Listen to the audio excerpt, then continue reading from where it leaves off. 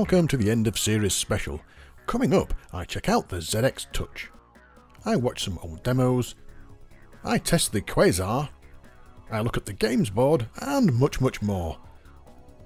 See you in the next series.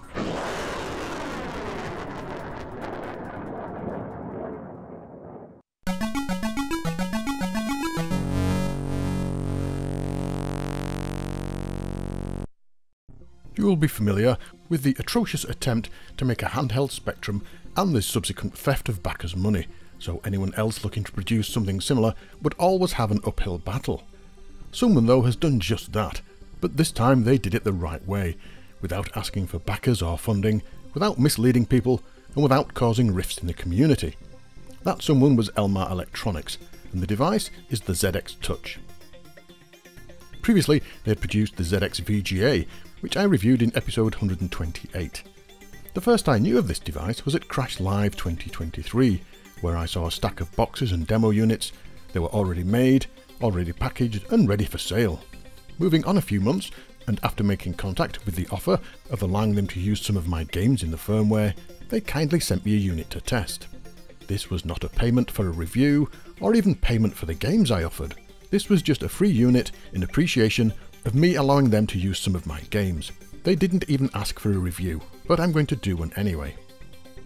It comes in a well built and attractive box, with the front showing the unit and the name of the device. The unit itself looks very impressive and is well built. The buttons and joystick are robust, and the design is both aesthetically pleasing and good to hold. It weighs just over 520 grams, which may seem a bit heavy for a handheld device. The unit has several connections, a micro SD slot, a USB socket for charging, a headphone socket, and a power switch. On the left hand side is a mini joystick, under which there are four buttons that can be used as a D-pad or just as buttons. On the right there are four more buttons, and these again can be configured. Below those is the speaker. The 7-inch touchscreen takes up most of the device's space pressing the power on button and it takes about 4 seconds to get to the menu screen. And here you will see the list of built-in games, all nicely displayed. You can scroll through them using the touchscreen, and a later firmware update, which we'll get onto soon, also allows navigation via the joystick and buttons. The built-in games are the more modern ones, so you'll find things like Gummy Medieval Defender, Sword of Ianna, Cray 5, Buzzsaw, and more. You can of course add your own games, which we'll come to later on. The menu screen has many things to explore though. Bottom left and bottom right are soft buttons, and initially I thought these were not required, but upon playing several older games, these are the most common used keys to start and configure the game before beginning, which turned out to be very useful. For example, when starting Attic Attack, you first have to select a joystick or keyboard, you then have to pick a character, and you then have to select a zero to start playing the game, so these buttons work very well. You can also configure them yourself if needed. There's a virtual keyboard that pops up if you need it, so if you feel inclined you can play adventure games, or use text input for other things. Because this is a touchscreen, this works much better than trying to navigate with a joystick. There's a speaker button which mutes the speaker, simple enough. And above that the settings button. Let's dive into this then. There are a lot of things in the settings to be set obviously. The screen settings allow you to switch on and off things like scan lines, brightness, display size and ULA plus options. In the sound section you can adjust the sound, including the mixing of beeper and AY levels. The physical keys section allows you to map any key of the Spectrum's keyboard to any of the physical keys on the front of the unit. This is very useful and easy to use, and I'll use this later on when playing Attic Attack. The side keys section allows you to change the virtual keys on screen, bottom left and bottom right, so they're not fixed. The joystick settings allow you to configure the mini joystick, and here you've got an option of using all directions, which tries to simulate an analog joystick, or not, which simulates a digital joystick.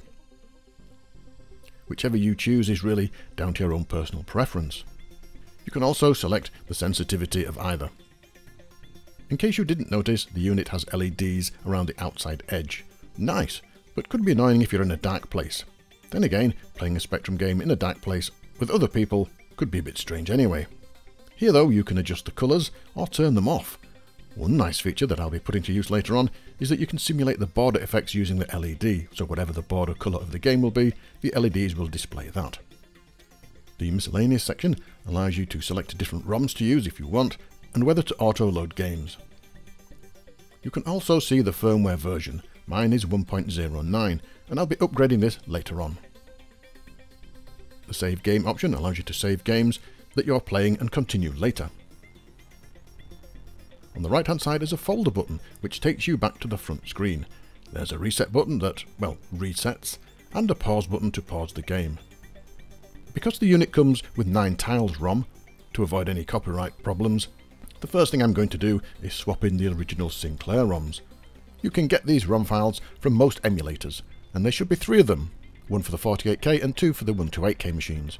You place the ROM files, as outlined in the manual, in the ROMs folder on the SD card named correctly. Go to the miscellaneous settings and set the option to use other ROMs. And that's it. Back to the main screen, load any game and reset, and you should have the Sinclair logo. Right then, let's play a game. How about Genesis? A cracking shooter this.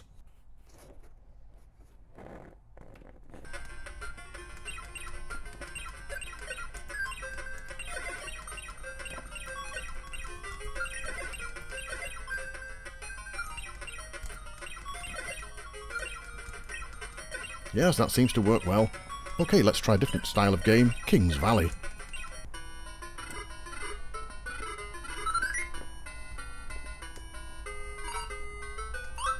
Initially I found it tricky to control the up and down movements with the mini joystick.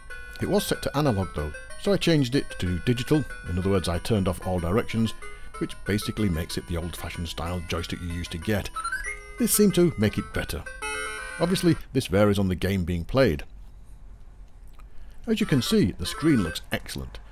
It runs at 50Hz, the exact speed of the Spectrum, and looks very crisp. It has a resolution of 1024 by 600, which is ample. It can be a bit reflective though, especially if there's a bright light source nearby like a window or light, but it does look very clear and bright. The sound is also good, as you can hear. I didn't hear any problems with any of the games that I tested.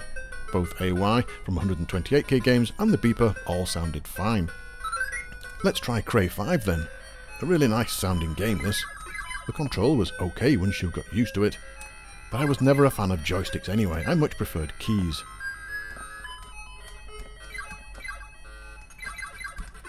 The next thing you'll probably want to do is put your own games on here, and there's a multitude of options around this. First thing you'll need is a micro SD card.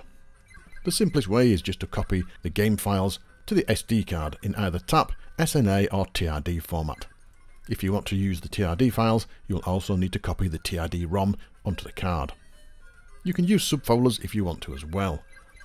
Once you've got some games on the card, you put the card in the ZX Touch and power on. On the home screen, top left, you'll be an option to view the SD card, and here you'll see a list of files the ZX Touch can load. Make sure you pick the correct machine for the game though, as I wondered why Attic Attack kept failing, but then again I realised it was set to 128k. Now you can simply play the game as normal.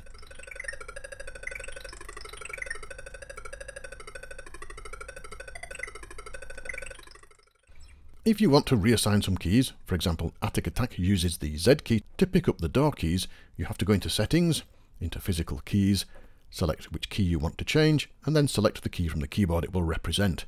I picked the right hand side cluster of buttons and the far right button. Back to the game then, and now I can use the physical button to pick up the game keys.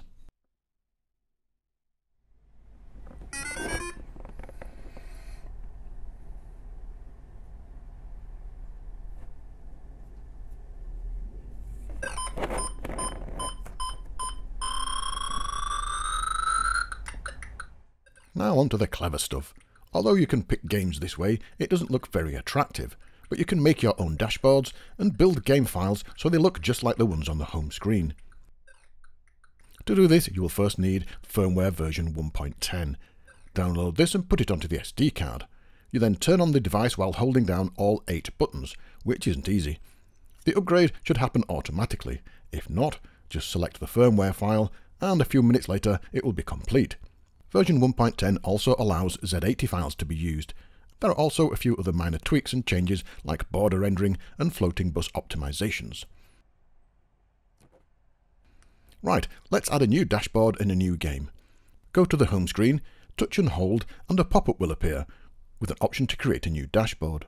You now have an empty dashboard, and this can be accessed using the left and right buttons on screen, or left and right buttons on the joystick or D-pad. It's a bit empty though. Let's add Attic Attack. Before you can do this, you will need to convert the TAP or SNA file to a ZTG file. Luckily, there's such a tool built into the Touch. Here's a tip. If you're going to do this, before you convert any games, make sure all the settings you need are in place already. Things like key mappings, sound options, and ROM versions, because these will be saved along with the game, so you don't have to keep changing them every time you load it up. With the settings ready, locate the game on the SD card, touch and hold. A pop-up will appear with a progress bar. Keep holding until it's complete, and another menu will appear. Select Add to Library. Games need adding to the library before they can be added to the dashboard. Now here you get a chance to do things like choose an image to display. This can be from the game file or video memory, which is usually the loading screen. But the best option is to use a JPEG that you've created yourself, because it looks much better. All the details about this are in the manual. You can add the information section about the game as well, and again this is another JPEG file, and again it's all in the manual about how to do this. And the last thing is to add the game title.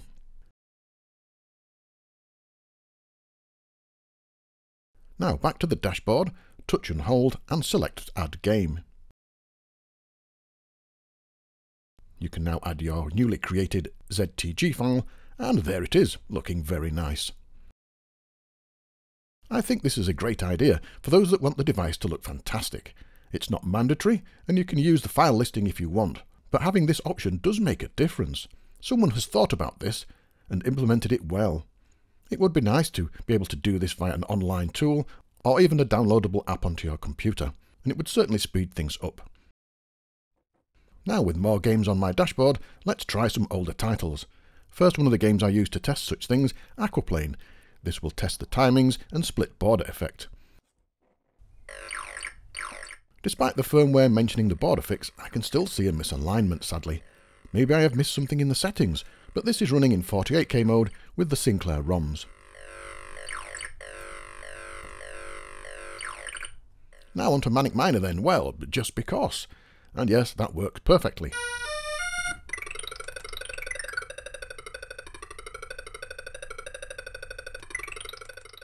And obviously Jetpac. Now I can't really play Jetpac with a joystick, but once set up, it works fine.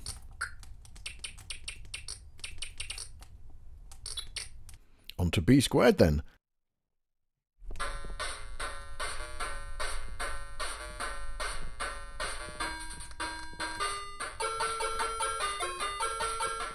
Some nice AY music, and yes, that plays fine as well. And this is an AGD game, so no problems at all.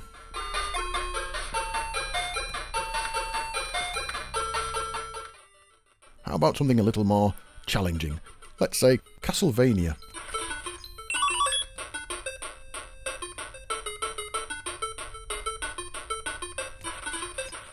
Yes, all looks good, the screen is crisp, the sound is great, and it all works perfectly. Overall, I'm finding it difficult to find anything negative to say about this device. The screen looks great, the dashboards look really nice, and the ability to add your own games is a well thought out option.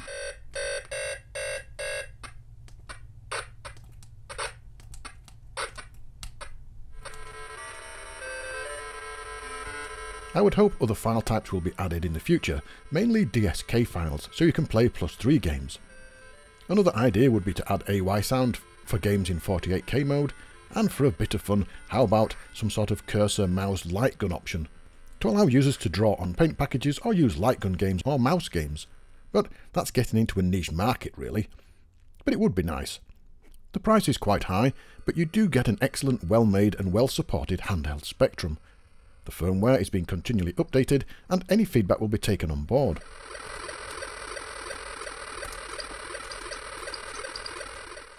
I really like this, and to be honest, I was about to buy one, but they were out of stock for UK delivery at the time, which prompted my initial email. If you were let down previously by other failed attempts, then this is a no-risk purchase.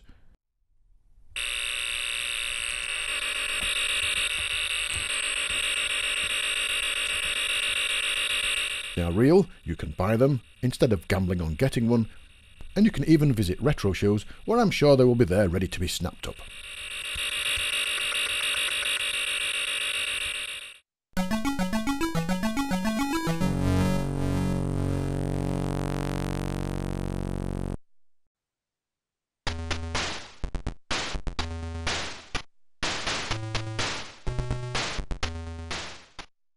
The demo scene for the Spectrum, like all demo scenes for all systems, started off with simple visuals and sound.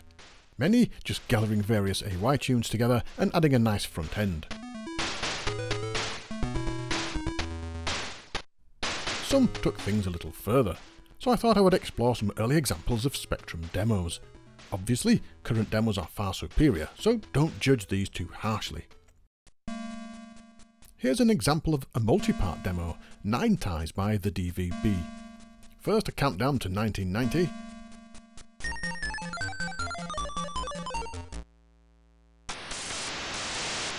followed by the fireworks from Penetrator with sound,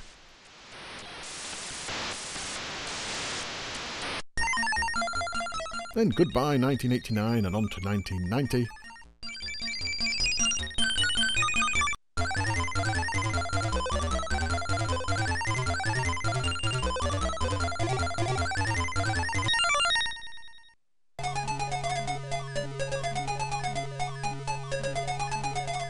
part has scroll text, a moving logo, laser effects, and of course, music.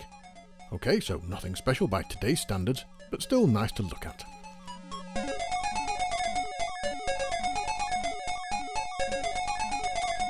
Moving on, and the first of many sample music demos. Yes, it's hard on the ears,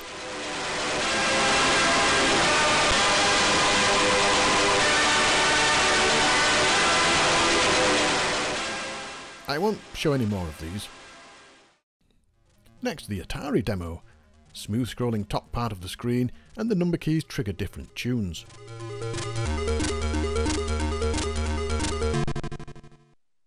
And the follow-up, Atari 2, something tells me the people behind this just don't like Atari users.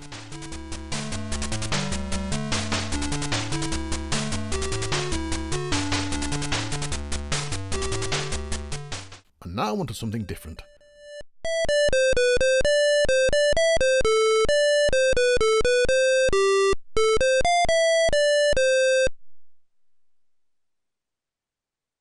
Staruszko, za chwilę.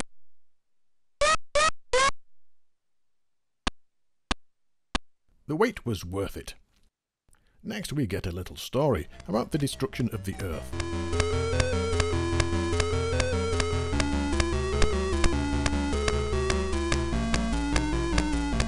Simple animation, but nice nonetheless.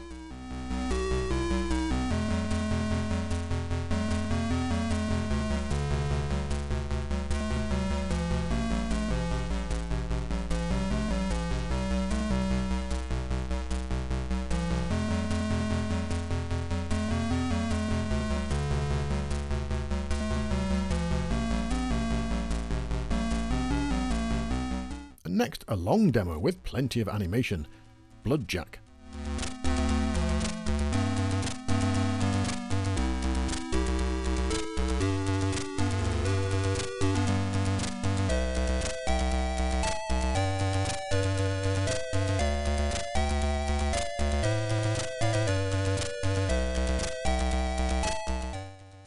It's pretty impressive stuff.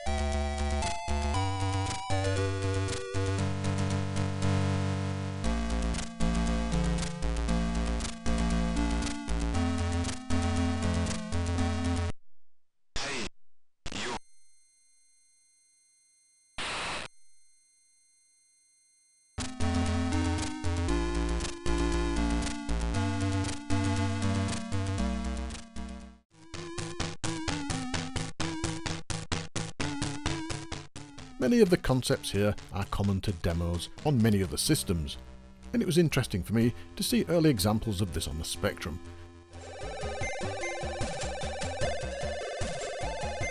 Things like parallax scrolling, bobs, copper effects, and nice logos. The things we consider normal.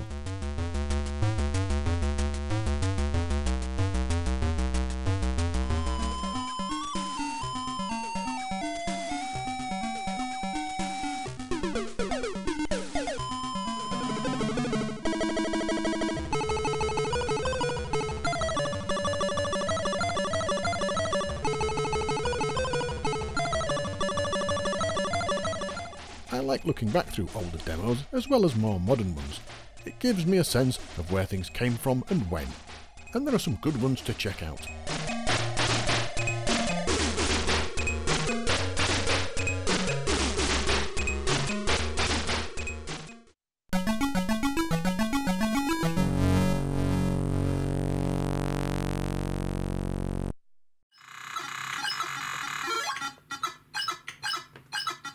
Sinclair Interface 2, Sir Clive's failed attempt to bring cartridge games to the Spectrum. It was too little too late, and the cost of the cartridges were too high, plus the limit of 16k games only didn't really help things. There were a few clones which I've previously covered, like the Kempston Pro interface, and of course the RAM Turbo interface. There are also modern recreations, one of which I covered in episode 138. Another one is this, the Quasar. This nice looking board provides you with a ROM cartridge slot plus a reset button. Like the other one I reviewed, it has no joystick port. Now the reset button on the previous Interface 2 clones for me were superfluous, especially considering its intended use, which is of playing the ROM cartridges released for it. You can't swap the ROM cartridges in and out without turning the power off, so why have a reset button? Unless of course you wanted to reset a game, or the game has crashed, which is unlikely a reset button on the modern recreations is probably more suited to the numerous multi-game ROM cartridges now available. But as we saw in episode 138, this does not always work as planned. The interface works like the original, as you would expect. You power off the Spectrum, plug in the interface, slot in a game of your choice, power on and off you go. Great for single games, but what about those multi-game carts I mentioned that weren't available in 1983? But today there are many such cartridges available, in some cases not all officially licensed, and now the 16k limit has been removed so any 48 game can, or should, work from a cartridge. Let's take a look at a few of these multi-game cartridges then. Any one of my patrons would have seen my video on items purchased from a seller site that is not eBay, I'm trying not to say the name without actually saying the name, but it's impossible. Anyway, all of the cartridges that are available from Etsy, oops, there you go, I've said it, are not official, and they probably don't have permission of the copyright holders. Here is one such collection, the DK Tronics collection. It doesn't contain all of the DK Tronics games, just a selection of 20. It comes on double ROM cartridges, and the box and packaging are, to be honest, very good although I'm not sure having Minder on the front cover is the best thing. The games included are shown on the back and listed on screen. Because modern recreations of Interface 2 uses standard parts, sometimes you have to file down these multi-game cartridges, which I've had to do previously. Once plugged in and the Spectrum turned on and we get a functional menu, you can choose the game and play it straight away. It works just fine. As seen in episode 138 though, some multi-game carts are not happy working with clones or interfaces with reset buttons to be more precise.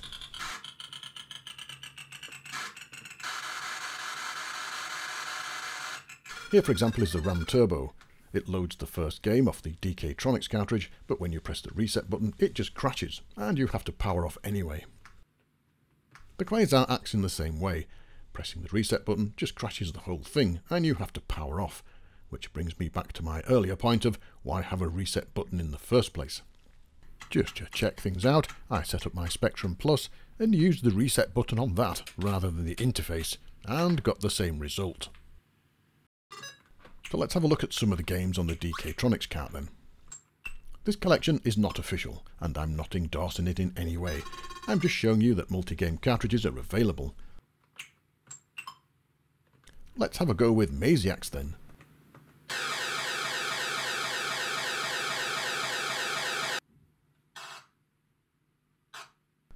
A great game this, a conversion of the ZX81 game Mazogs by the same author. You move around the maze, ask prisoners for direction, keep your strength up by eating food, and fight Mazogs, er, I mean Maziacs, although it's best to try and avoid them.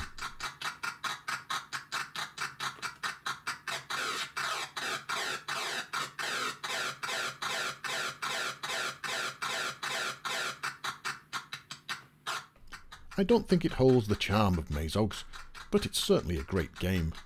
The maze is random each time, so the challenge is always there. And there's always a Mazog, oh, done it again, I mean Maziac just around the corner.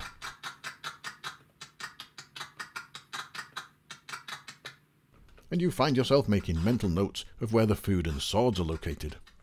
Nice fight sequences too. Yep, I enjoyed playing this.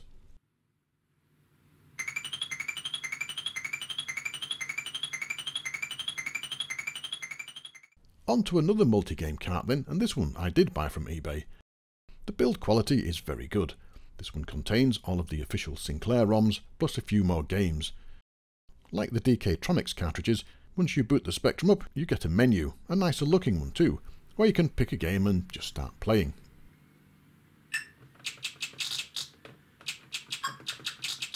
The reset button on this one just loads the game again, and doesn't crash the system which I suppose is a good thing, but it's a pity it doesn't go back to the menu. As well as the Sinclair ROMs on here, like Horace, Space Raiders, Jetpac etc., you get a few other titles thrown in. These, on my version, are Arcadia, Galaxian, Manic Miner, Mr. Wong's Loopy Laundry, and Phoenix. Some other cartridges on eBay have different games. As you can see, there's a 48k game on here too, Manic Miner. And this one has options when you load it. You can change the language and add pokes. That's a nice touch, actually. So you can start the game with infinite lives or collision detection turned off for certain things.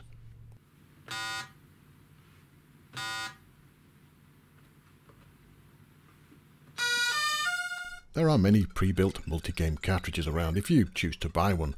If you want to build your own though, there's this, the ZXC4, which I covered in episode 109. This cartridge lets you add your own games via a PC and Interface 1, so you can create your own compilations. With this in the Quasar, you just boot up, and you see a menu, pick the game and off you go. The obvious difference here is that you can put games of your choice on.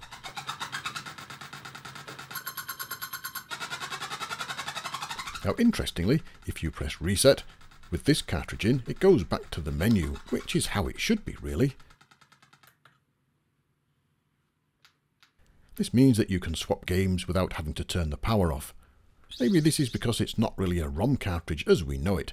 It's an EEPROM cartridge. It has a programmable EEPROM in there, along with circuitry and other things to handle that. And now on to another multi-game cartridge, and a very rare one, given to me as a gift from a viewer of the show, Harvey Lodder. I'm sorry, Harvey, it's taken so long to mention this. It's a brilliant package, and it's official, not a cartridge full of unlicensed games. This is one of three ever made, and contains a few things. The first is the original version of Quest for the Golden Egg Cup by Network Version Games. Then there's the enhanced version from Mastertronic. Then the publisher demo. And finally an unpublished, unendorsed and unofficial game based on the world of Automata. The quest for the Golden Egg Cup is an adventure game. You start off in heaven, and you can find a few items there like a golden egg, a clipboard and a tablet if God happens to drop it for you. Soon you'll come to a beanstalk, and if you can work out how, you can climb down to the real world. Well, nearly real anyway. You know how adventure games work. This is the Mastertronic version, with added graphics and extended text. The game has humour similar to the Fergus McNeill games and obviously a nod to Automata. I suppose these clone cards and multi-game cartridges are a bit of a niche market. Most users would opt for a Div IDE or something similar. But these allow the use of original hardware and or cartridges, and it's a bit of fun at the end of the day. From Quasar to Quazar, this is Quazar, released by Rose Software in 1983. Test your quick thinking as well as your quick reflexes in one of the four quizzes combined with a fast action machine code maze, so the inlay states. This is a quiz game, and one it seems I'm not very good at. Because this is a 16k title, I was not expecting too much, which is a good job really. Let's have a go then. Oh dear, this just looks like basic to me, but yes, there is a 2k of machine code somewhere. You are given a question and are then given three choices of the answer. When you decide which one is correct, you have to guide your man, in character squares, to the correct number relating to the answer. And you have to do this before the thing that chases you, which is a bow and arrow, lines up either vertically or horizontally with you, in which case you get shot.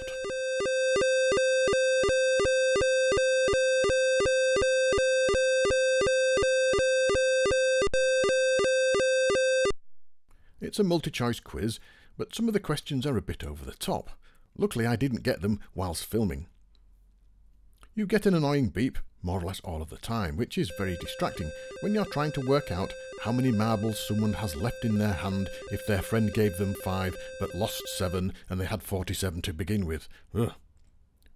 When the answers appear, you can sit back and work out the answer, there's no set time limit. But as soon as you move, you need to have planned a route carefully, so that the bow and arrow never gets a chance to shoot you.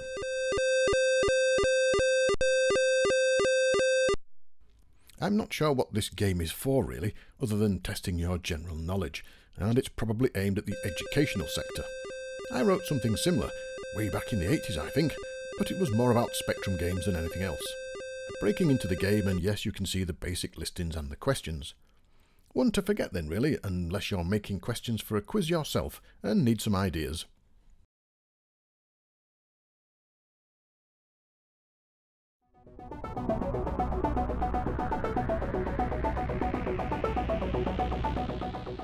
The Spectrum's Dead Flesh keyboard was not liked by some people. Personally, I think it was fantastic, especially coming from the ZX81. The only other option to improve it was to buy, at roughly half the price of a Spectrum, a full-sized keyboard like the DK-Tronics or Transform. These provided a vast improvement for anyone typing letters or writing games, or even playing text adventures. There was another, cheaper option though, if you wanted to just play games. There were a few around, and they all looked like they did the same thing. They provided a plastic cover over the top of the Spectrum's keyboard and added plastic keys to control the keys of the game you were playing. Here is the Games Board, produced by Mavic Marketing around 1984. Are you being zapped by finger drift? asks the advert, and goes on to list the features, including instant attach and detach, mask unwanted keys, and improve scores by 50%. Now I'm not sure how that could be proved. Here's mine, with the box just like the advert. Inside we get a large plastic cover, designed to fit over the 16 or 48k rubber keyed model. On the top are holes for the keys. You place the keys in the holes over the keys you use for the game. Quite a simple idea. It's supplied with 10 keys and stickers that you can use for directions and fire and that sort of thing. And that's it. And now you're ready to improve your scores. In operation, well, it's simple. You clip it over the top of the Spectrum, and it's a nice tight fit around the Spectrum. No chance of this falling off. You then put the plastic keys in the holes that correspond to the keys underneath.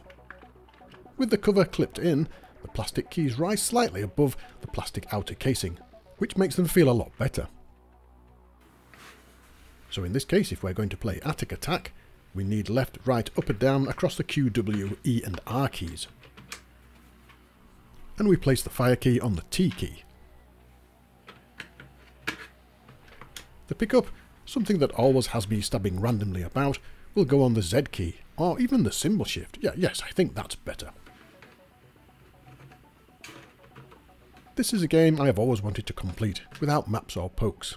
So I'll keep practicing Ah, I need the start key. Okay, so let's put another one in place. Here we go, just pops in there.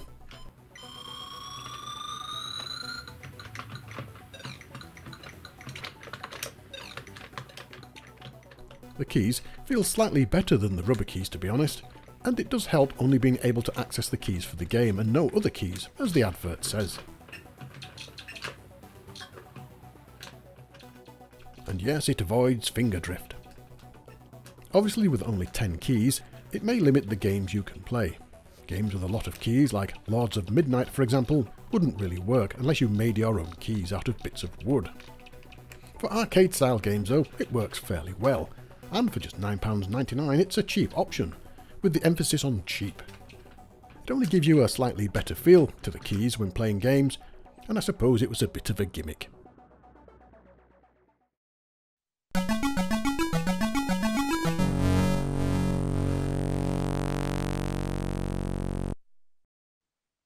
This is Yeadow from Inufuto, released in 2023. We've seen a few quality games from this person, and this game is no different.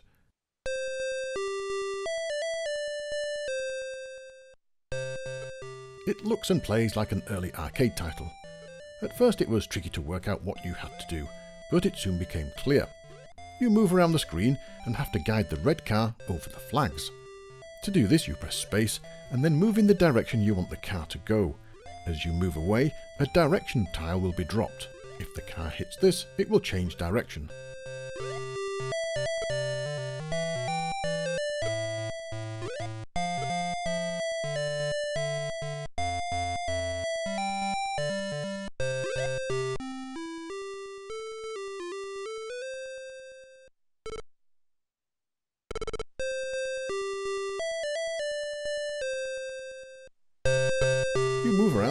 Leaving a trail of direction cards, with the aim of removing all the flags. If the car hits you, or the other ghost-like character collides with you, you lose a life.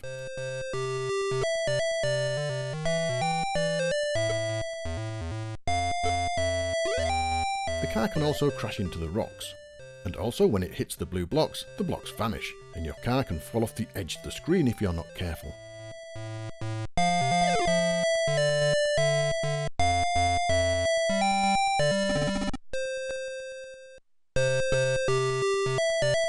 Graphics are simple 80s style and work really well. There's a tune that plays throughout, and the game is very addictive, just like those early arcade games. A nice idea, well implemented. Certainly give this one a try.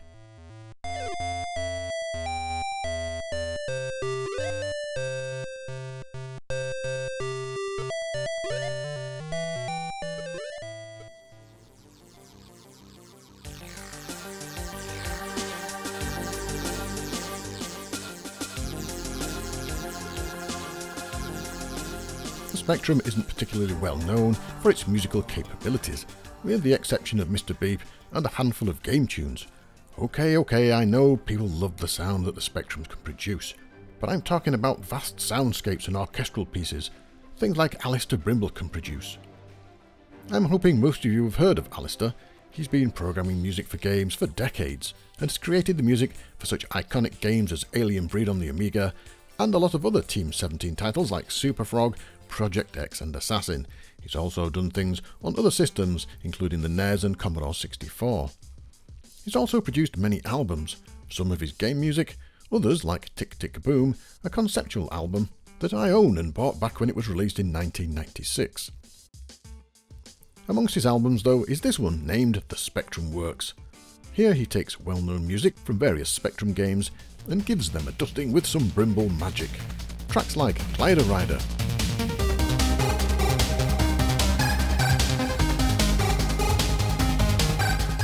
Agent X,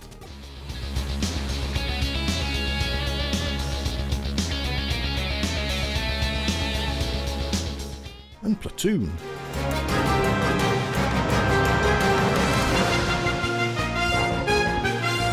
They're all reworked into orchestral pieces that are brilliant to listen to. At a very modest price of £7, you can download the full album, along with many others based on his work with machines like the Amiga and PC. I've got this one in my car and will be listening to it quite a lot. Well, that about wraps it up for this series. See you soon.